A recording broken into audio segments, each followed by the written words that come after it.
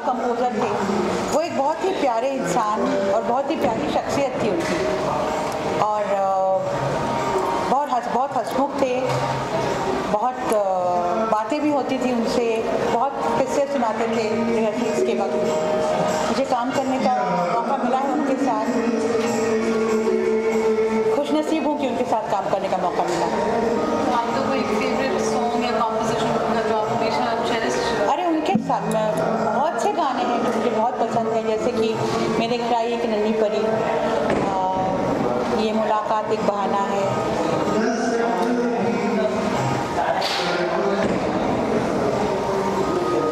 थोड़ी सी बेवफाई के गाने।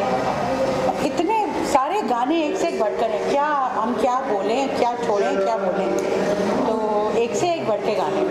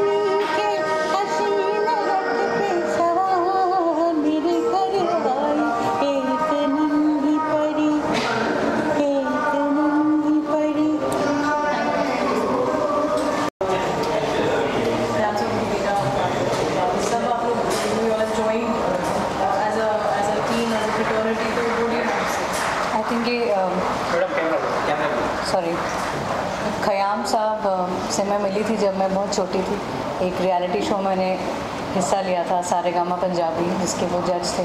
और मुझे याद है कि अ, उनकी पर्सनालिटी ऐसी है इतने बड़े वो लेजेंड है लेकिन जिस तरह वो उनसे बातें कर रहे थे सिंगर्स के साथ लग रहा था शायद मेरे दादाजी मुझसे बात कर रहे हैं। और इतनी वार्म इतने प्यारे और हमेशा इतना प्यार देते थे इतना आशीर्वाद देते थे। और अ, ऐसे लेजेंड का इस म्यूज़िक जगत से चले जाना, ऐसा लगता है कि एक बहुत बड़ा एक एक वॉइड आ गया है हमारे हमारे म्यूज़िकल इस दुनिया में।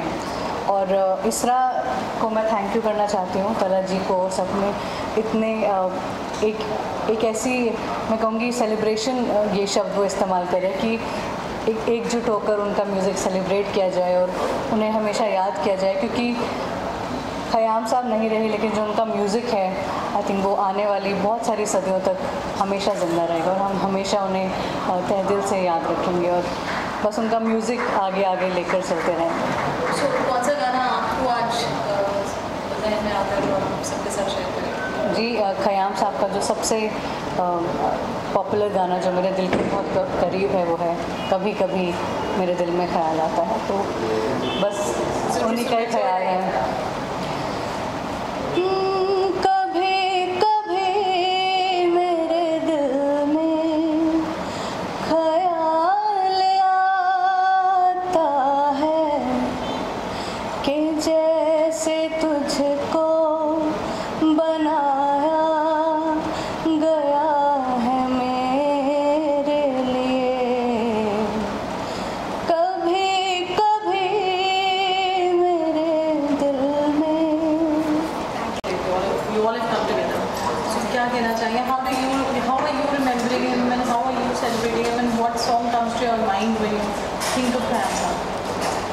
Lots of songs. Um, I won Sarigama in 1995. I'm the first winner, and it was at the hands of Khayyam Sahab that I was adjudged the winner. So, uh, therefore, Khayyam Sahab is indeed very special for me.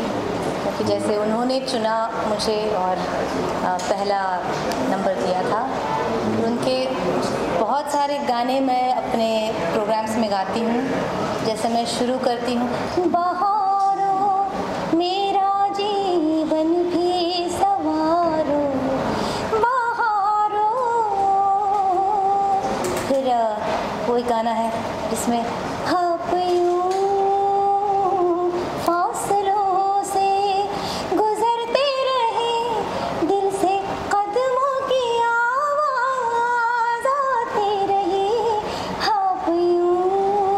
अच्छा like very much इसमें वो लता जी ने हंसा हुआ है थोड़ा सा। आप यूँ जो कंपोज किया है, यूँ को लगता है कि सचमुच कोई यूँ फासलों से डिस्टेंस से जा रहा है। And of course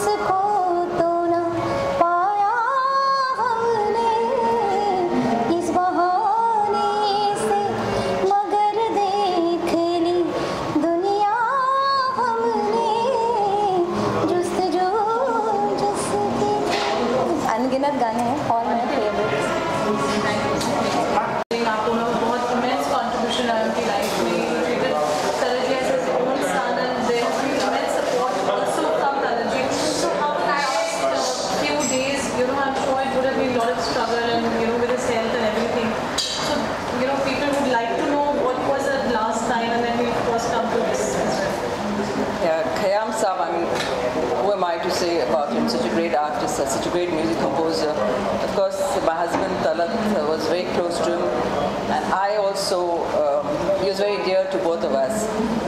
Talat, of course, after his prayers, Friday prayers especially, he would go make it a point to go and uh, see him, him and Jagjeet ji, and uh, every time I "May I- I'm coming back, but I will have lunch with Khayyam Saab.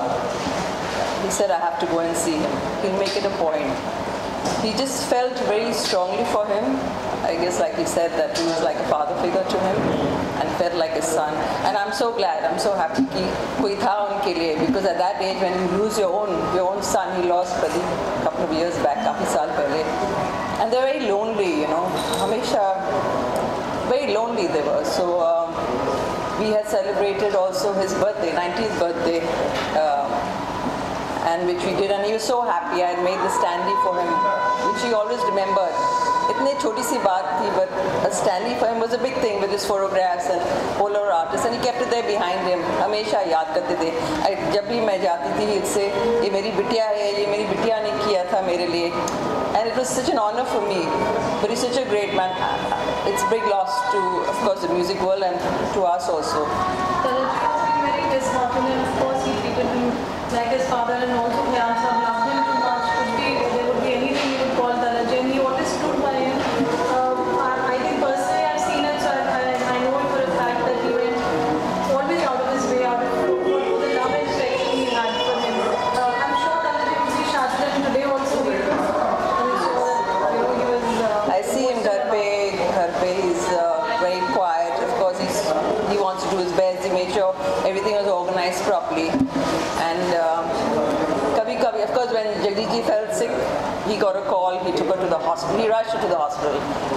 he was there.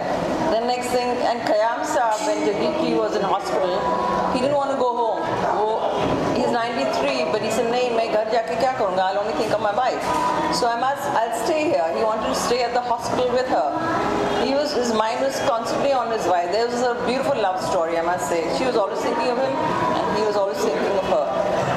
And um, I'm glad Tadat could be there. Then when he fell down in the bath,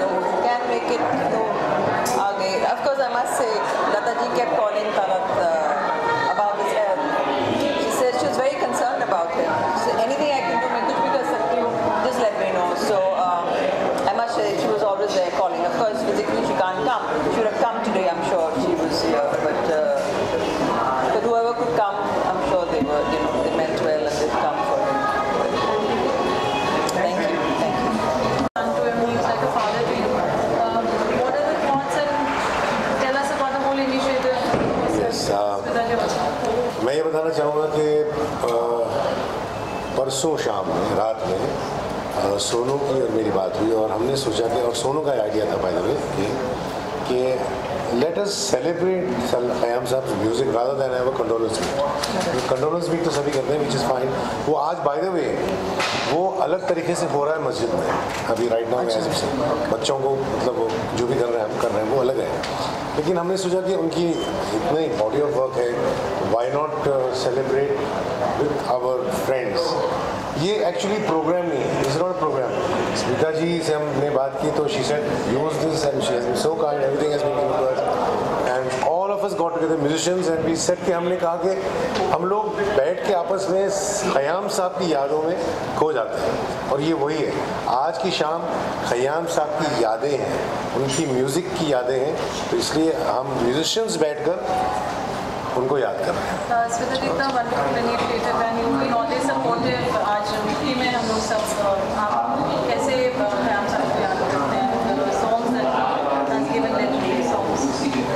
आप सभी को धन्यवाद देना चाहूँगी शुक्रिया अदा करना चाहूँगी क्योंकि तलत जी ने इतना बड़ा और इतना खूबसूरत प्रोग्राम यहाँ इस प्रोमाइसिस में करने की सोची। अ, मेरे लिए तो ये खुशनसीबी है कि अ, पहली बार हमारे यहाँ मैं खयाम जी की मेमोरी में हम लोग ये प्रोग्राम कर रहे हैं। इनफैक्ट तलत जी सोनू जी सलीम जी अ, ये सब मिल के कर रहे हैं और मैं तो सिर्फ़ एक मेरा छोटा सा एक हिस्सा है क्योंकि ये प्रमाइसिस हमारी है और खयाम जी के बारे में तो बहुत ही मैं छोटी हूँ, उनके बारे में जो भी कहूँ बहुत ही कम होगा क्योंकि उनके साथ मेरी मुलाकात करीब तीन या चार बार हुई थी और जो भी उनके साथ जब भी मुलाकात हुई है और उनके, उनका जो नूरानी चेहरा है, हमेशा हंसती हुई आँखें वही मेरे सामने आती है। उनके म्यूज़िक के बारे में तो मिस कहना बहुत ही कम होगा और मैं नहीं कह सकती क्योंकि बहुत ही स्टालवर्ड्स म्यूज़िक के इंडस्ट्री के बड़े बड़े कलाकार यहाँ मौजूद हैं और अपने अपने हिसाब से वो उनके लिए कंट्रीब्यूट कर रहे हैं, उनकी मेमोरीज़ में कंट्रीब्यूट कर रहे हैं। मेरी भी एक छोटी सी कंट्रीब्यूशन है कि जो मैं इनके साथ खड़ी हूँ यहाँ। थैंक यू धन्यवाद। बताओ कि अगर वेन्यू नहीं हमें मिलता, ये कल परसों रात तय हुआ और कल हमने डिसाइड किया। एक दिन में सब हुआ ये। इतना आसान नहीं है तो thank you so much thank you thank you thank you आपसे जानना चाहेंगे मेमोरीज आपकी खयाम साहब के साथ कैसी रही? यू नो आपका एक रूटीन था उनके घर जाना आज आपने इतना इनिशिएटिव लिया नहीं नहीं सबसे पहले ये इनिशिएटिव मेरा नहीं सिर्फ़ ये इसरा का है जो हमारा ऑर्गेनाइजेशन है सिंगर्स का Indian singers rights association Sanjay Tandon साहब जो है हमारे सीईओ और सब मिलकर सलीम सोनू मैं हम हमारी कोर टीम है हमने डिसाइड किया कि चलो हम सबको बुलाते हैं और ये सेलिब्रेट करते हैं। क्योंकि खयाम साहब से मेरा रिश्ता कुछ बहुत ही अलग रिश्ता था और है, रहेगा जनता नहीं बोलूँगा मैंने जैसे कि एक बार एक पोस्ट में डाला था कि दो, सन 2000 में 20 2000 में मैंने एक एक पिताजी को खोया, मेरे अपने पिताजी को। और उसके बाद मुझे दूसरा पिता मिला और वो मैंने 19 अगस्त 2019 से आई लॉस्ट हिम तो बड़ा एक सेंस ऑफ़ लॉस क्योंकि एक तो मेरे बायोलॉजिकल फादर जो दुनिया में लाए मुझे मुझे पाल पोस कर बड़ा किया लेकिन उसके बाद जब मैं जवान हुआ और मैं मुंबई आया तो इनसे मुलाकात हुई खयाम साहब से। और जब 81 से तो उन्होंने मुझे जो फ़िल्म इंडस्ट्री में लॉन्च किया तो एक्चुअली आज मेरी जो अ, सिंगर की शख्सियत है वो उमराव जान से मेरा उमराव जान की जो गज़ल है उससे पहचान है। आपको एक वाक़ बताऊँगा कि 1981 में मैंने ये ये फ़िल्म आई थी। हाल ही में मैं जब ये गाता हूँ कोई भी महफिल में तो यंगस्टर्स भी ये गज़ल सुनते हैं। बेटा, कहाँ जा रही है? आप जाइए, बताइए। अभी उमराव जान की बात हो रही है। ये देखिए, ये नई पीढ़ी है। Pratibha Singh Baghel she is a beautiful lovely singer और ये मैं कहता हूँ कि ये ये फ्यूचर है। अगर ये लोग ये बच्चे जो है इतना अच्छा गाते हैं और ये गाना जो अभी ने गाया है आशा जी का ये गाना बड़ा मुश्किल गाना है। हम जानते हैं हर एक की बस की बात नहीं है। बहुत ही प्यार से और इतनी सफ़ाई के साथ इन्होंने गाया सुर में तो मैं ताली देना चाहूँ thank you sir thank you thank you so much तो ये है कि ये नई पीढ़ी will carry the torch Khayyam साहब की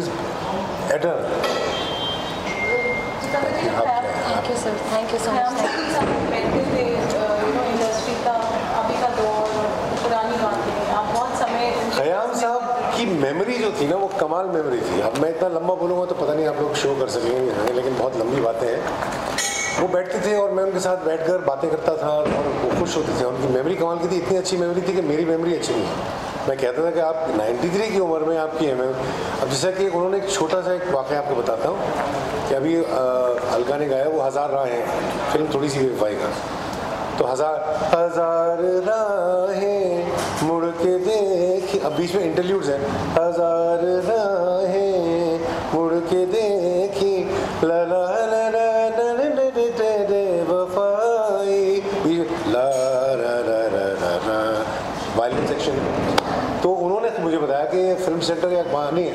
रिकॉर्ड कर रहे थे किशोर दा के साथ। और उनके जो अरेंजर थे, अनिल मौले साहब। तो जब उस ज़माने में रिकॉर्डिंग होती थी रिहर्सल होता था ऑर्केस्ट्रा बाहर है, सब लाइव होता था। तो अनिल मोहल्ले आके ख़याम साहब से कहे, कहने लगे कि भाई, वो किशोर था कह रहे कि रिहर्सल में ये जो इंटरव्यूड्स हैं ना, वो क्यों इतने सारे इंटरव्यूड्स रखे हैं ख़याम साहब? तो ख़याम साहब ने कहा कि, मैंने कहा, अनिल को कि अच्छा ठीक है, काम करो रिहर्सल करवा दो विदाउट इंटरव्यूज़ कर दिया। टेक शुरू हुआ। रिकॉर्डिंग शुरू हुई। तो बीच रिकॉर्डिंग में सडनली ये ख़याम साहब कह रहे थे, मैं नहीं कह रहा, मैं तो था भी नहीं वहाँ कि किशोरदा ने माइक पे कहा अरे अरे, एक मिनट रुझे रुझे रुझे रुझे खयाम साहब खयाम साहब, ये अच्छा नहीं लग रहा है वो आपके इंटरव्यूज़ के साथ ही हम गाना करते तो फिर बाद में जब उन्होंने पूछा खयाम साहब से कि खयाम साहब, आपने इंटरव्यूज़ क्यों रखे? तो फिर खयाम साहब ने बताया, देखो जो कहानी है, मुझे पता है, ये दो, एक कपल की कहानी है जो जुड़ मतलब जुदा हो चुके हैं। तो ये इंटरव्यूज़ में डायरेक्टर को मौका मिलेगा कि वो फ्लैशबैक दिखाए तो वो कहानी आगे बढ़ेगी। तो वो बहुत डिटेल काम करते थे। सिर्फ़ म्यूज़िक कंपोजर नहीं थे अरेंजर को नहीं सारी म्यूज़िक की पीसेस भी होती थी ना, उस पर भी उनका मतलब पूरा वो होता था। गाना जो आपका हमेशा फुल टाइम फेवरेट रहेगा अभी गाया जो जी हमने वो अंदर we go to come in the finale now inside but जी। ज़िंदगी जब भी तेरी लाती है हमें ये ज़मीन चाँद से बेहतर नज़र आती है हमें। ये जो गाना है बाय द वे जिस तरीके से स्टाइल से उन्होंने बनाया जैसे कि जब शायर तरन्नुम में पढ़ता है अपना कलाम तो वो स्टाइल है। कुछ और ऐड करना जो नहीं अभी बहुत सारी बातें। हम पूरी फ़िल्म के तीन फ़िल्में बन जाएँगी अगर मैं बात करने शुरू वंडरफुल इनिशिएटिव है जो इसरा आपने और colour all of you all put this together celebrating है हम सब क्या कहना चाहेंगे आप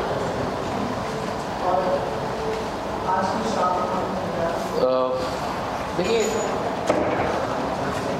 हम जहाँ काम करते हैं, जहाँ जिनसे हम सीखते हैं, जिनसे हम तालीम लेते हैं, जिनसे इंस्पायर्ड होते हैं eventually as musicians or as a professional वही हमारी फैमिली बन जाते हैं। हमारी फैमिली यही है। और ख़याम साहब के वैसे कोई इतने ज़्यादा संबंधी रिश्तेदार नहीं हैं जो तो मेरे ख्याल से उनका पूरा दायित्व तो तलब जी ने अकेले उठाया है।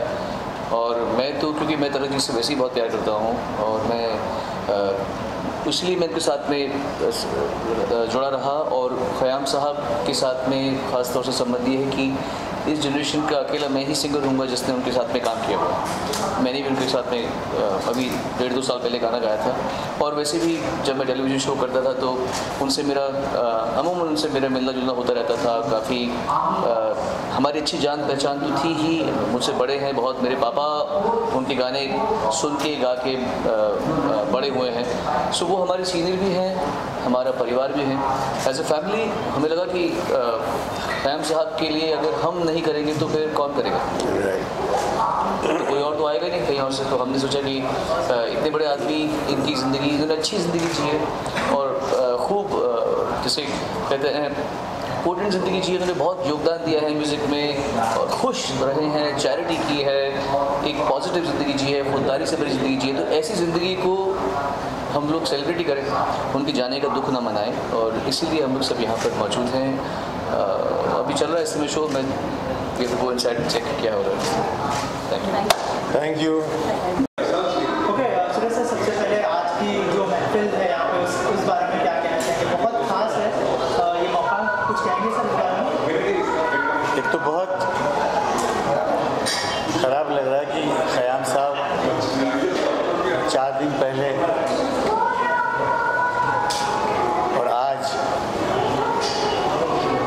जाने का बहुत बड़ा सदमा है और बहुत बड़ी हस्ती हम लोगों ने खोई है। बहुत थोड़ा काम किया है उन्होंने, मगर ऐसा काम किया है कि ये दुनिया जब तक कायम रहेगी, जो तीन चार टॉप के म्यूज़िक डायरेक्टर्स रहे हैं, उनमें इनका नाम शुमार होगा। मैं बड़ा भाग्यशाली हूँ पास गाने का मौका मिला और इतने शांत, इतने प्यार करने वाले, खुलूस वाले इंसान, मगर अपने काम में बड़े, उनका रेजिमेंट बहुत कड़क था बहुत। और परफेक्शन के वो परफेक्शन में बहुत माहिर मन जैसा नहीं हो तो काम पूरा नहीं होता था। सर आपको लगता है कि उनके जाने से म्यूज़िक का एक एरा खत्म हो चुका है।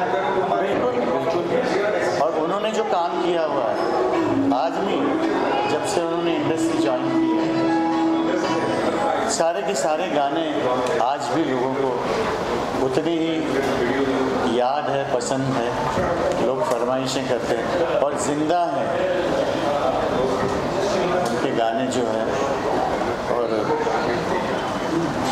उन्होंने प्राइवेट एल्बम्स भी जो किए हुए हैं, बड़े खूबसूरत रफ़ी साहब ने तेरे भरोसे ये नंदलाला जो उन्होंने भजन गाया हुआ, इतना खूबसूरत भजन है। वो और मेरा ख़याम साहब से जो इंट्रोडक्शन हुआ बचपन में, वो इस गाने से।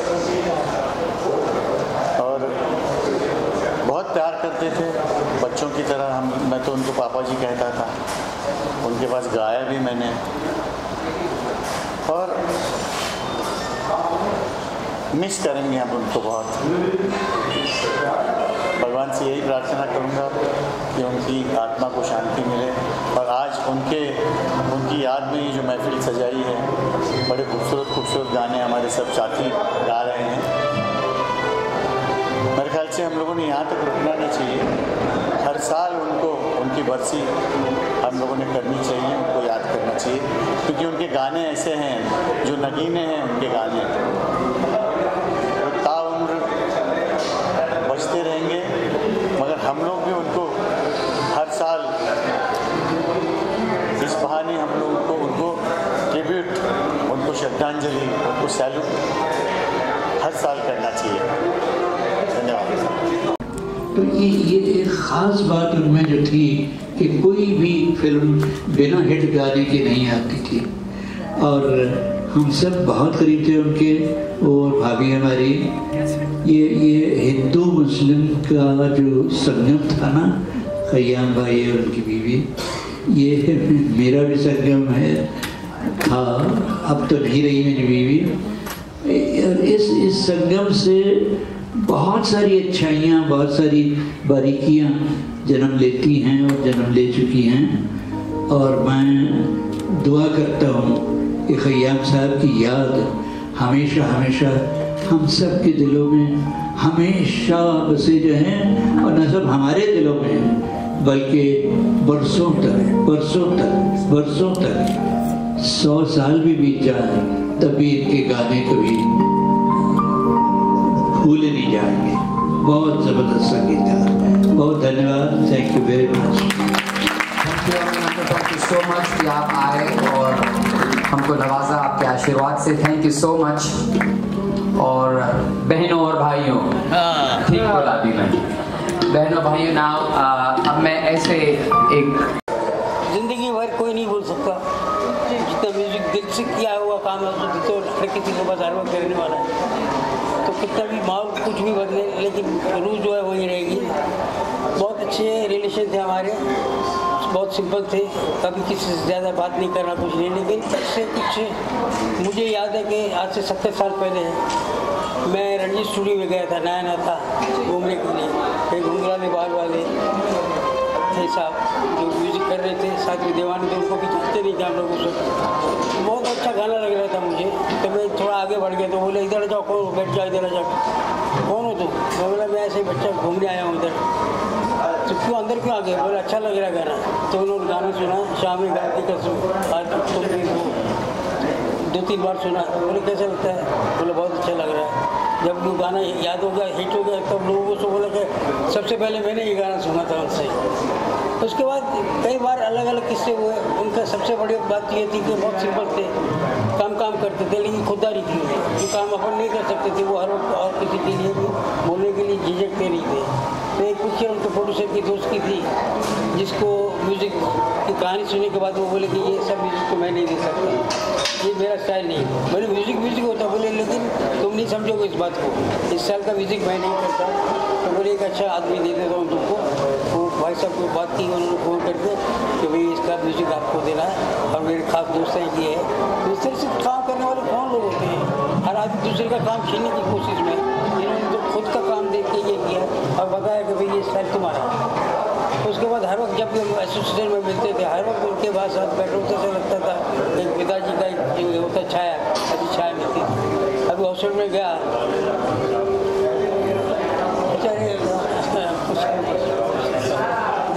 था लेकिन बात नहीं हो सकी लेकिन आज बहुत ईश्वर ने बहुत अच्छा काम किया कि इसी तरह से हर किसी को याद करें आप। तो उनकी यादों में कुछ ना कुछ तो लोगों तक पहुँची बात wish all the best thank you very much this together? I think uh, it's a great uh, great opportunity for us, for me, for ISRA and for Sai Singers Association of India, the Indian Singers Rights Association, to really be able to do such a thing for him. A person like Khayyam Saab, a legend, a Padma Bhushan of our country, and his music that was there, and the and the attendance which I saw at his funeral was little very disturbing to me. And that really led our community to get together the artist community to get together and to try and put up some sort of a love and affection towards Khayyam Saab. And that's what we have just all been doing. I'm thankful to colleagues the singers I'm thankful to Talaji to Sonuji to Abhijit Da to Sudesh uh, Bosle to everyone Sanjeevni and Pratibha Bagel to Salim Merchant to really just come on a phone calls away and they said yes we'll, we'll sing his songs and so on. So I'm very very grateful. I'm grateful for the people who have come today, all of you, the press, the media. Thank you very much for coming and covering this event. And uh, say that we are in fact blessed that we have been able to do such a program for all of you. Thank you so much.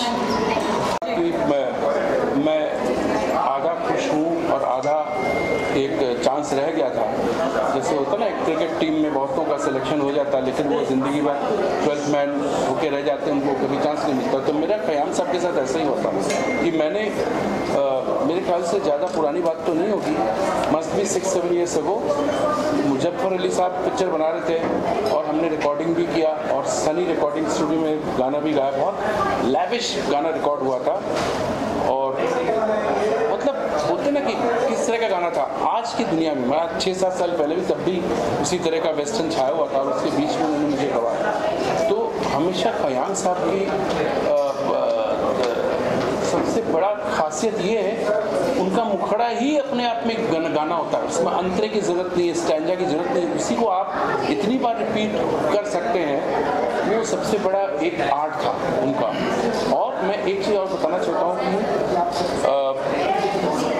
Bachchan साहब के career में, बच्चन साहब ने career शुरू किया था तो उनका एक इमेज बना था रोमांटिक एंड सीरियस जब उन्होंने आनंद किया था। नमक हराम किया था और अभिमान था। उसके बाद एंग्री यंग मैन हो गए। दीवार, जंजीर और सब तमाम गुणुम गुणुम चल रहा था। उस बीच कभी कभी में उनका रोल अच्छा था, लेकिन अगर वो खयाम साहब का music and combination with Mukesh ji नहीं होता तो अमिताभ बच्चन का वो जो इमेज आया, एक पोएट देखिए एक पोएट पोइट्री करता है। पोएट कभी गाना नहीं गाता, लेकिन पहली बार ऐसा लगा कभी कभी में कि एक पोएट एक शायर गा रहा है पहली बार ऐसा लगा नहीं तो हमेशा लगता था कोई सिंगर है, कोई हीरो है गा रहा है लेकिन एक शायर, को ऐसा लगा कि हाँ शायर गा रहा है। और अभी कोई कि जाने का उतना ही गम नहीं है जितनी खुशी है कि खयाम साहब हमेशा हमारे साथ रहेंगे। इस तरह के शख्स कभी ये सिर्फ़ आते हैं और हमको कुछ दे के उनका एक टाइम पीरियड होता है लिमिटेशन होता है कि बस आए, हमको दे के चले गए। अब वो जहाँ पे भी गए होंगे, वहाँ पे भी दे रहे होंगे। ये हमेशा they are givers and always मैं उनको नतमस्तक हूँ, उनके पैरों में प्रणाम करता हूँ और उनका आशीर्वाद चाहता हूँ। थैंक यू आज के लिए ये बहुत अ, काफ़ी नई चीज़ है लॉय और मैं एक साथ बैठे के सी लॉयर में एक साथ बैठे थे। तो एक रीगेल फैक्टर होता है ना कि मतलब हम लोग सुनते हैं मतलब अरे ये गाना उनका था। ये गाना भी उनका था। ये गाना भी उनका था। ये गाना भी उनका था। तो I feel very lucky that I got to listen to all the song growing up and fortunately और unfortunately I had no clue this song of Khayyam साहब Just to be part of such a privileged lot, I feel very elated and I pretty much know that I'm at the bottom of the trunk here. It's an honor nevertheless. And uh, some of the things which some of the stalwart singers you said that उनकी दी हुई legacy अब तक वो लोग खा रहे हैं इस चीज़ से मैं ताल्लुकात रखता हूँ बिकॉज़ मैं अभी भी 20 साल पहले का गाना मैं अभी तक खा रहा हूँ तो I can imagine what it must be for those people and that's a very humbling thing which they've set and I can only imagine what a wonderful giant human being this man must have been. and I feel unfortunate that we weren't born at the time that he was. Otherwise I would have definitely made sure that I know him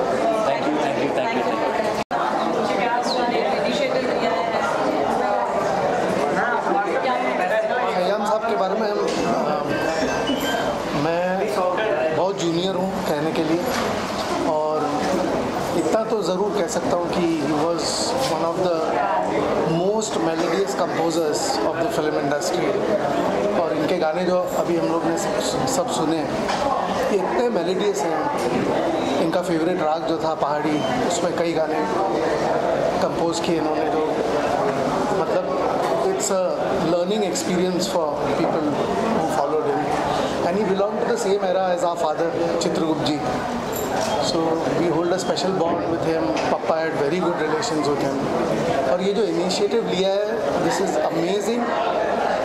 Uh, it's good to remember a person, a composer through his songs, and to rejoice those, rejoice and enjoy the songs that the composer had composed. It's a great initiative taken by Sanjay Tandon and the whole team of singers and composers.